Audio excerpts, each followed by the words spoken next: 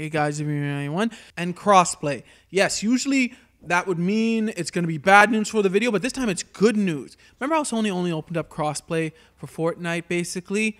Well, now they basically opened it up for all games. Well, I was watching Inside Gaming's video, and apparently there's an article that says that that says while it's not announcing the news explicitly, the PS4's crossplay efforts have officially moved out of the beta stage, meaning that the console can support crossplay on any titles that studios provide the functionality for. So what does that mean to me? Well, that means that basically Sony will be like, yeah, crossplay is a function and the devs will choose whether or not to make their games crossplay.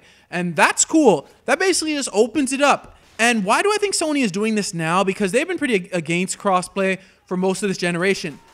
I think it's because of two things. One, certain companies are starting to twist their arm, kind of like Activision. And Activision, let's face it, is one of the big companies that can probably twist Sony's arm. The new Modern Warfare game, how it's going to be crossplay. Another reason most likely is that the PS5 is most likely coming out next year. And Sony, like most of us, I believe, are pretty sure that crossplay next year will be a big thing. I'm pretty sure that almost like every game that comes out next year that is third party and has multiplayer will be crossplay. So I think Sony is just getting a little bit ahead. They're like, next year we won't be able to push people to buy a PS5 because everyone kind of starts over. So we really need to start this crossplay thing now and move it into the next generation. So why I think this is more of a business move as opposed to being consumer friendly, I'm glad that's happening. It's, it'll be great to be able to play across basically all three of the major systems for a lot of those third party games.